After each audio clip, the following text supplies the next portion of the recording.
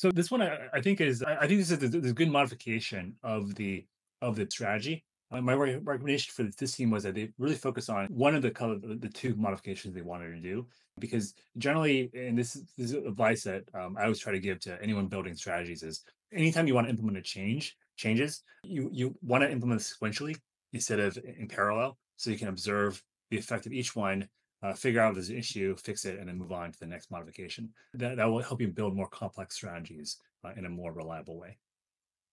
So let's take a look at uh, what their their video shows. It's me, Konstantin, and uh, my colleague Stan. Today, we'd like to present our own version of pure market making strategy. At the moment, uh, you can see my pie chart instance with um, our PMM controller, generic controller.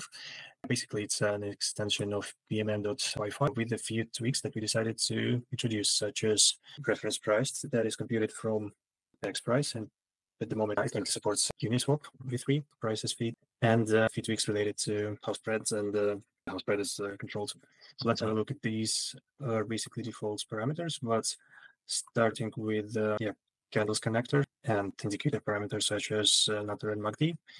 Yep, this is our uh, new stuff. I'd like to explore more on uh, DEX feed part, and my colleague Stan will uh, elaborate on working with uh, MACD and other parameters. So uh, in the config, we provide an opportunity to to identify that uh, node to request uh, and work with Uniswap. Uh, then there is an um, int parameter that is responsible for price refresh. And this is the feeds parameter that identifies uh, token addresses and uh, a fee to adjust the price.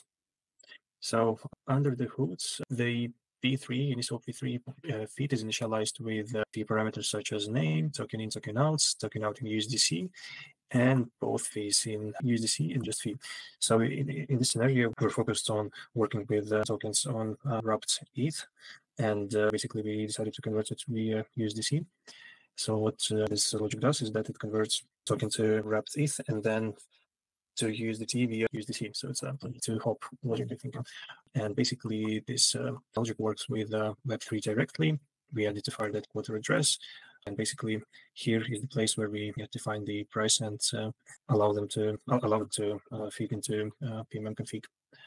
At this this stage, I'm gonna hand over my voice to my colleague Stan. Uh, yes, hello everyone.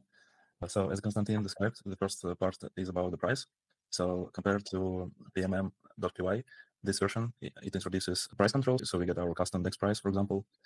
And uh, this part of the code, it shows where the strategy decides uh, which price to use. So if there is a DEX price, it will use uh, the DEX price. If the DEX price is none or it's zero, the strategy will use the existing uh, mid price on the exchange. So we are, we are always with some price here. And uh, the second part uh, is the spread multiplier. So if uh, if candles, uh, if we didn't receive candles from the exchange, we treat it like the, the basic PMMPY with a fixed spread and the mid price. But if there are candles, we go and calculate our uh, coefficients based on uh, NATR and uh, MACD.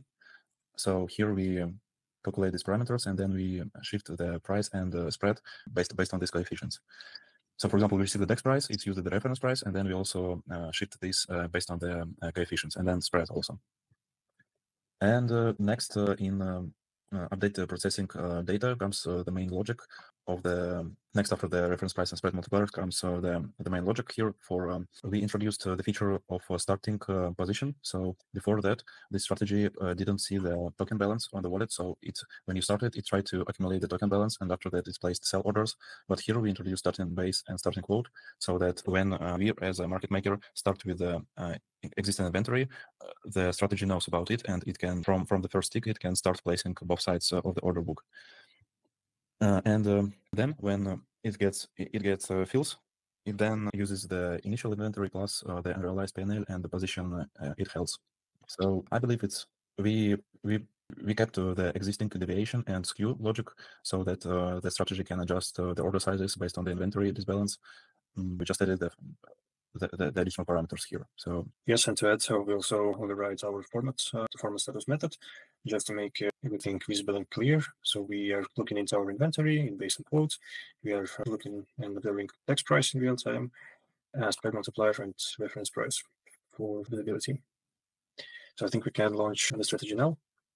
So to demonstrate in a real world example how it works. Uh, we have a connector in uh, Mex. We, we are building, we linked our Max account with a few um, amounts to to test the strategy. So let me run this.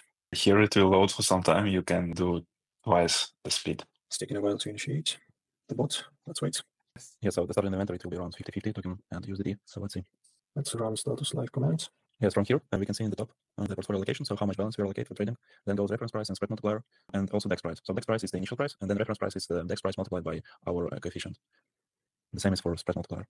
So we'll look at log panes. The orders are getting created. We might wait for actual fills. Yep, here we go. We have one of the fills. We increased our base assets and reduced our quote assets, and our uh, percentages were calculated accordingly. These updates they, they, they take time, but uh, here we, we see some of the fills they get into this uh, status live console, and yeah, we accumulated some base asset. Our buy orders they get filled on the exchange. Yep, the strategy and the whole video demonstrates our efforts on optimizing payment.py file and uh, the logic around it. So thanks a lot for watching, and uh, feel free to reach out if you have any questions. Yes, thank you very much. Bye. Bye bye.